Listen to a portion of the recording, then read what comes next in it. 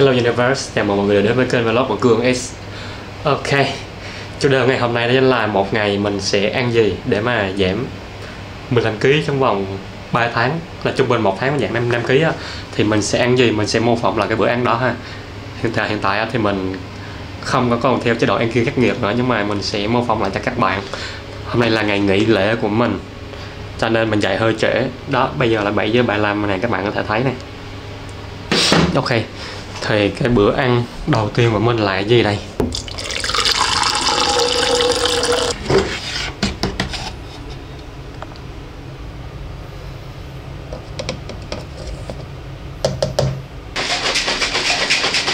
Đây là bữa sáng đầu tiên của mình ha. Đó chính là whey protein. Hay còn gọi là sữa sữa đạm á.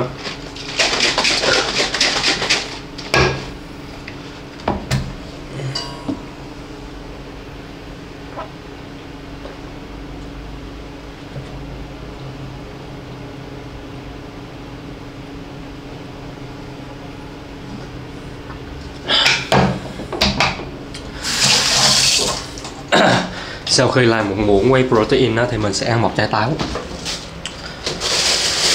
Ừ, đây là bữa sáng. Lúc này cũng là bữa sáng tốt nhất của mình luôn. Táo thì mình sẽ rửa.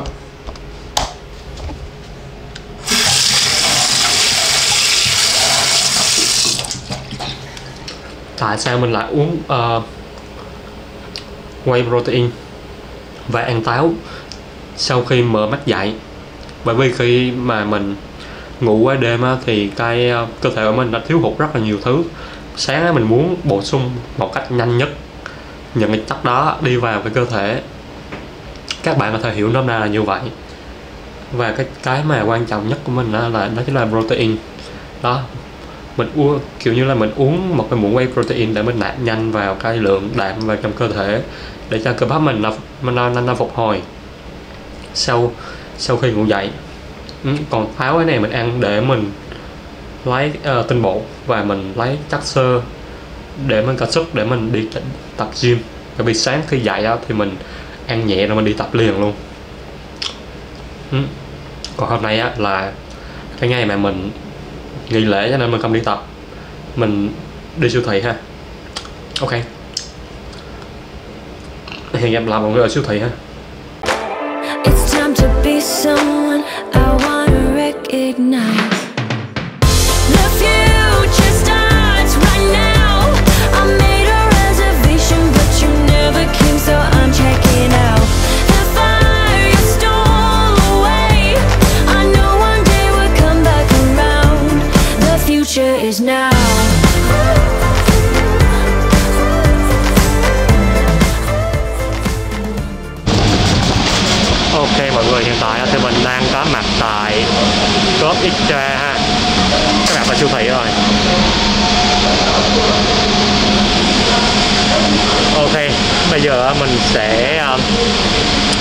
Đồ ăn.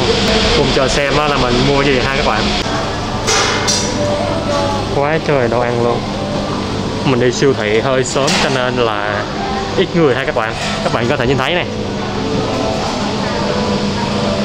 Rất là ít người. Thì cái món mình mua đầu tiên đó chính là khoai lang.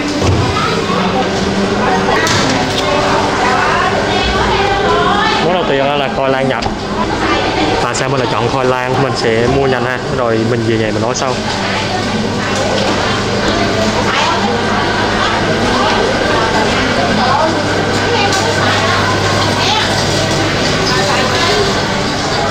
Món thứ hai mình mua chính là ức gà. Mình sẽ chọn những loại ức gà không da nha các bạn. Ờ, phi lỡ ức không da này nó sẽ làm sẵn cho các bạn luôn.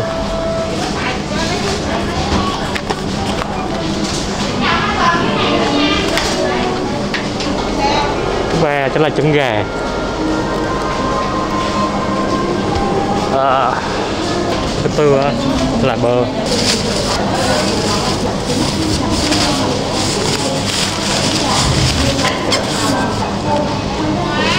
Tiếp theo mình là một táo anh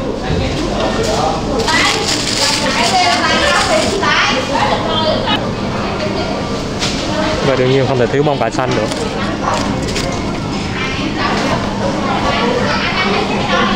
đây. Mình mua xong rồi nha các bạn.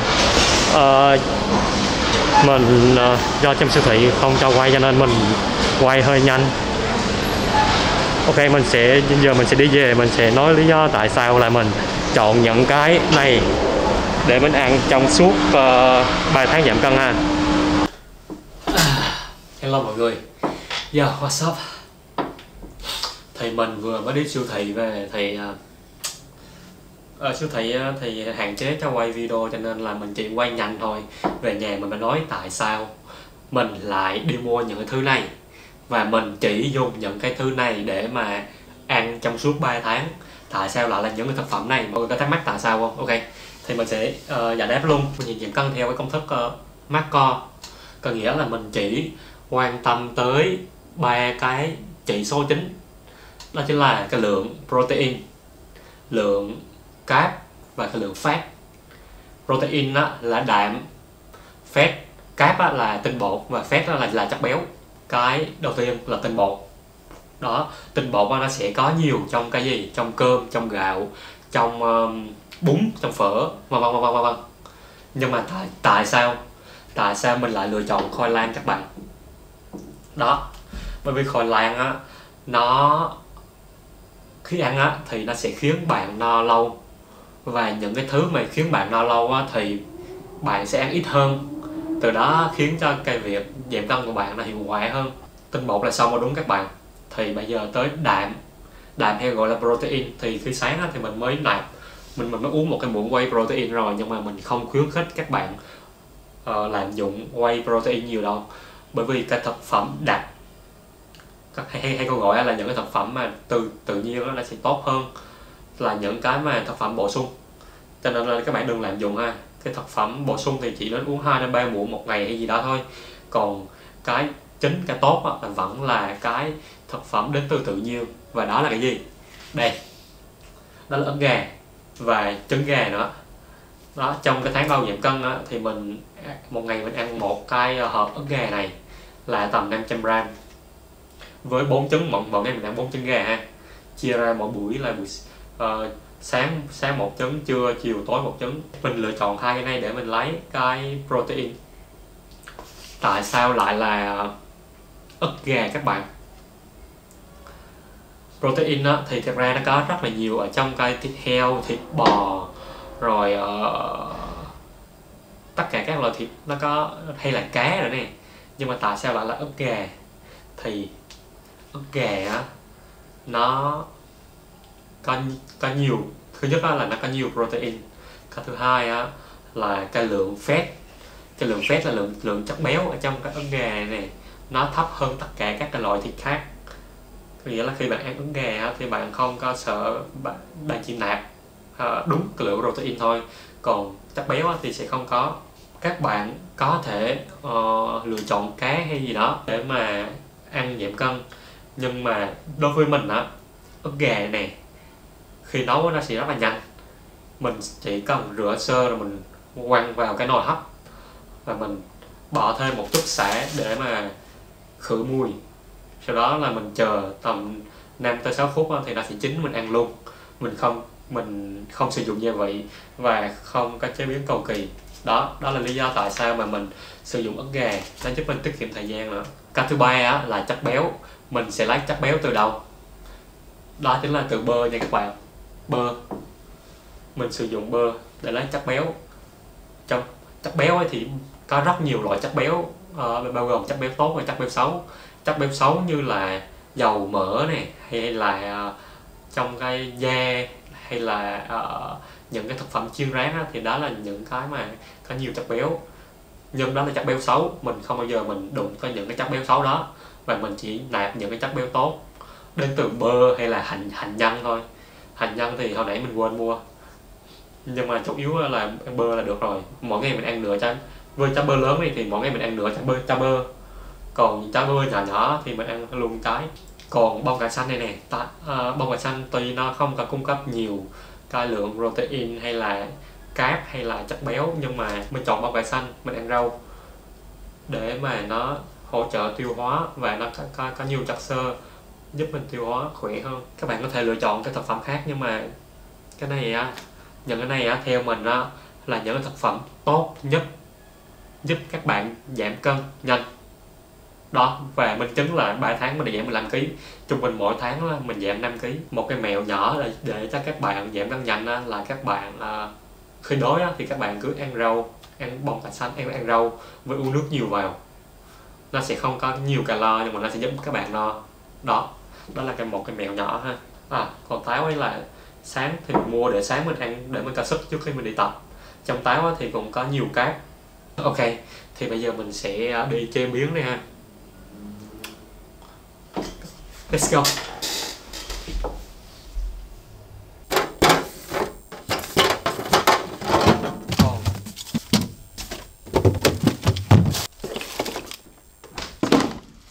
Ok, bây giờ mình sẽ bắt tay vào nấu ăn.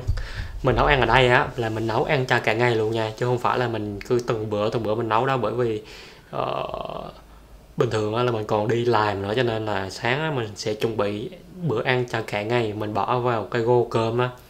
Rồi sau đó là mình mới mình đem lên công ty rồi mình hâm lại mình ăn. Tương tự cho cái bữa chiều và bữa tối.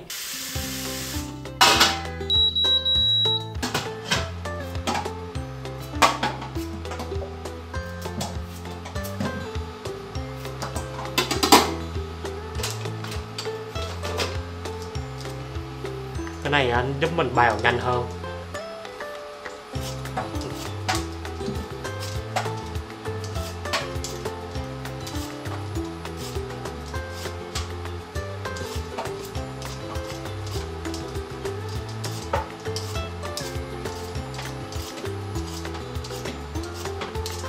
Xong rồi các bạn nhanh lắm.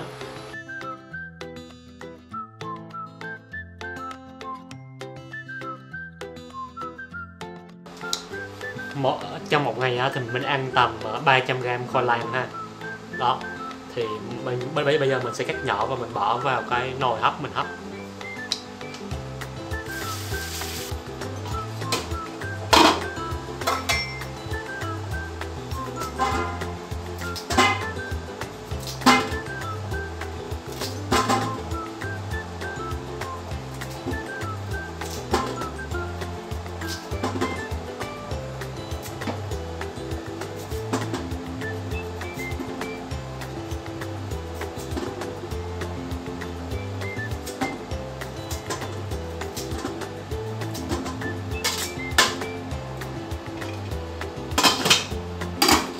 Ta da xong xong cái món đầu tiên là khoai lang.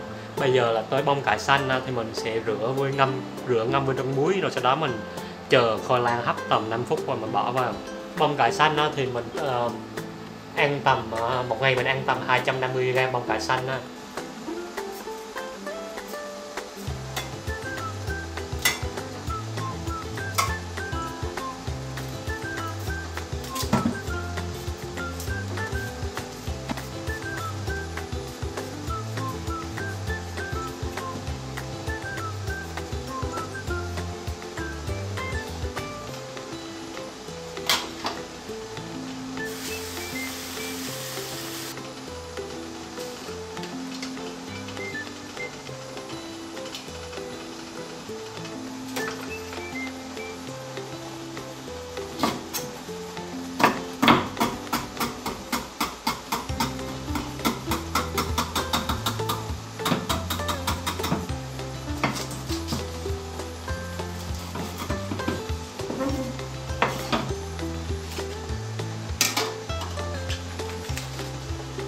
gà này. Thật ra nó vẫn còn ờ, uh, cà da nha các bạn.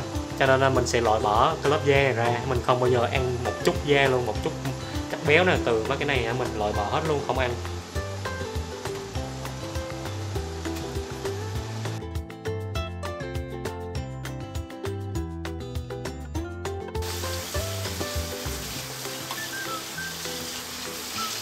Ok, thì sau khi ờ, mình hấp xong khoai lang á thì mình sẽ hấp tiếp bông cải xanh và trứng gà ha.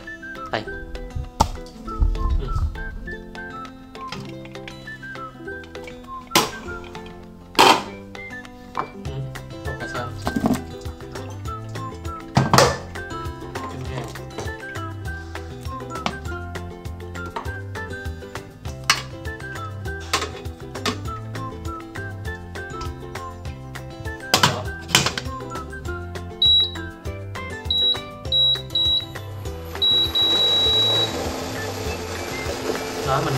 Tầm 5 phút rồi sau đó sau khi hấp xong cái này thì mình sẽ um, vớt ra hết vào cái tô này. Sau đó mình hấp riêng hấp riêng cái ờ, uh, ức gà với uh, sả để cho nó khử mùi của ức gà. Ok thì sau khi gấp ra thì được nhiêu đây nè các bạn? Đó. Bây giờ mình sẽ bỏ ức gà xả vào để mà hấp ha. Đó mình hoàn toàn mình không ăn gia vị luôn á. Cứ hấp mình ấy cho là nhanh. Thật ra ờ, mà, thật ra mấy cái này mình chuẩn bị chỉ trong tầm 15 phút đó là mình ăn được cho cả ngày luôn. Rất là nhanh và tiện lợi.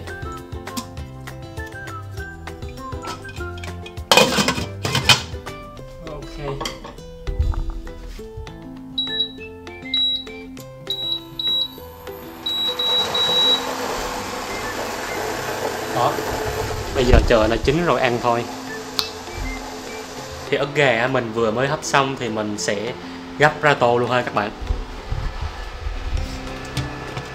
Wow. Wow wow wow wow đó. Ức gà mình hấp dưới sả cho nên nó sẽ không có bị tanh ăn nó không có bị ngán đâu. Ức gà này á, là 500g ha. Là mình ăn cho cả ngày luôn á mình nó toàn là mình sẽ chơi nấu một lần và ăn cho cả ngày luôn. Bởi vì uh, giảm cân thì các bạn giảm cân các bạn không có thời gian nhiều để mà nấu ăn cầu kỳ đâu. Cho nên uh, nhanh gọn lẹ á. Luôn vài cái thứ mà đó. Nhiều đây á mình sẽ ăn cho cả ngày. Ok mình sẽ à, để lên bàn và mình nói thêm một chút nữa. Rồi sau đó mình sẽ kết thúc cái vlog. Đấy một ngày mình chỉ ăn nhiều đây thôi nha tất cả như này mình sẽ chia nhỏ ra mình ăn trong từng bữa. Đó miễn là sao các bạn ăn hết nhiều cái này trong một ngày là được. Và mình không bao giờ ăn thêm bất cứ cái cái gì ngoài những cái này. Đó là những cái thực phẩm mà mình ăn trong mỗi ngày lặp lại mỗi ngày. Để mà sau 3 tháng mình giảm 15 kg uhm, này. Bơ này bơ ok, bây giờ mình sẽ chia nhỏ, mình sẽ chia ra mình ăn ha.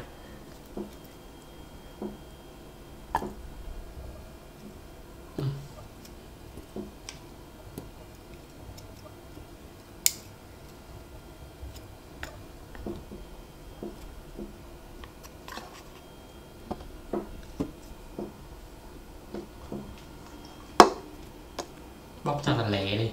Gấp lâu quá. Đó.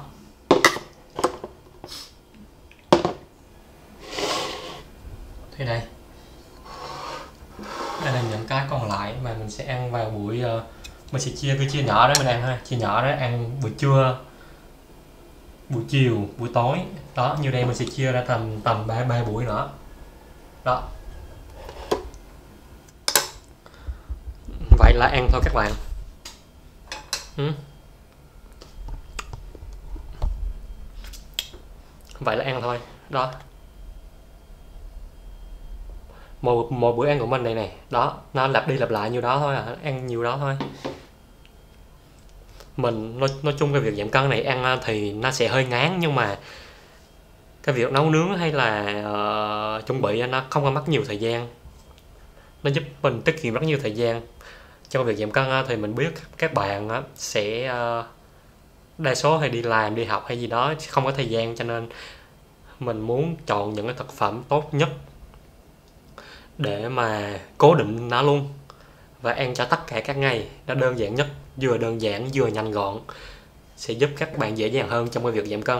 Đó đó là cái lý do tại sao mà mình chỉ chọn một loại thực phẩm để mà mình ăn. Sau khi tập thì các bạn nên ưu tiên ăn nhiều cái tinh bột vào. Ừ. ăn tinh bột sau tập thì nó sẽ quan trọng hơn là cái việc các bạn ờ, bổ sung protein sau tập, ha. Đó là một cái mẹo một một cái cái cái cái cái cái cái một cái tip giúp cơ bắp các bạn phát triển. Là sau khi tập á, các bạn thường sẽ nghĩ là protein nó quan trọng hơn tinh bột nhưng mà sai rồi. Sau khi tập á, thì mình sẽ ăn nhiều cái lượng tinh bột. Các bạn thấy không? Đó tinh bột anh em mình ăn rất là nhiều còn protein thì mình ăn ít lại. Đó là sau khi tập. Còn các bữa còn lại á, thì mọi người cứ chia bình thường ra ăn thôi. Đó à, mình ăn thêm một chất này chứ. Đó đó đây là trứng cho bài vừa còn lại. Ok kết thúc vlog tại đây. Thì vlog lần sau thì mình sẽ uh, vlog này nó sẽ hơi khó hiểu cho các bạn. Bởi vì ờ, các bạn sẽ có có nhiều cái thắc mắc lắm. Nhưng mà cái vlog lần sau mình sẽ giải đáp ờ, thêm và mình sẽ chỉ cho mọi người cách tính uh, calo cách tính calo để ăn ăn ăn nhiều cái thực phẩm này á là một cái chuyện còn tính calo lại là một chuyện khác nữa. Là ví dụ như vẫn là vẫn là vẫn là khoai lang vẫn là trứng gà vẫn là bông cải xanh vẫn là ức gà vẫn là bơ. Nhưng mà bạn ăn sao đó khối lượng như thế nào? Đó đó là một câu chuyện khác nữa ha. Ok cái đó mà thì mình sẽ dành ở cái vlog uh, tuần sau hoặc là sau nữa gì đó. Nhưng mà sẽ ra cái vlog đó để cho các bạn biết cách tính calo tính cái lượng cáp lượng tinh bột lượng ờ, protein lượng uh, fat sao cho mà mỗi tháng các bạn có thể giảm 5 kg như mình. Ok có thể như vậy. Và cách tính của mình đó, thì nó sẽ rất là đơn giản luôn. Bởi vì uh, khi các bạn tìm tòi những cái cách tính trên mạng thì nó sẽ hơi khó khăn cho các bạn. Nhưng cách tính của mình đó, thì nó sẽ đơn mình xin khẳng định nó sẽ rất là đơn giản bởi vì khi mà mình bắt đầu giảm cân á thì mình cũng lên mạng mình lục tìm lò, lò mò mình đi tìm các kiểu. Nhưng mà thật sự trên mạng nó nói rất là nhiều về thông số chỉ số gì mà càng đọc thì càng đau đầu càng rối. Không biết phải làm như thế nào thì mình mình sẽ làm nó make it simple làm nó đơn giản hơn. Để các bạn khi mà coi cái vlog đó của mình đó thì các bạn sẽ biết cách tính calo để ăn như thế nào một cách thông minh một cách giảm cân nhanh nhất có thể. Ok hẹn gặp lại mọi người ở cái vlog sau. Nhớ nhớ subscribe kênh youtube của mình ha. Ok, còn bây giờ xin chào và hẹn gặp lại. Mình sẽ ăn nốt cái này.